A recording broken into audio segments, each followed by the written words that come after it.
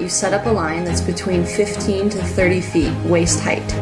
The Yoga Slackers have developed the E-line specifically for the ease of learning and to minimize potential injury. The internet is a great resource for more information about setup and line options. Kneeling. Kneeling introduces the fundamental slackline concept of connecting to the core. Learning to balance from your center of gravity will come into play over and over again, so spending time on your knees will pay off when you get to more advanced transitions. Connecting to the line.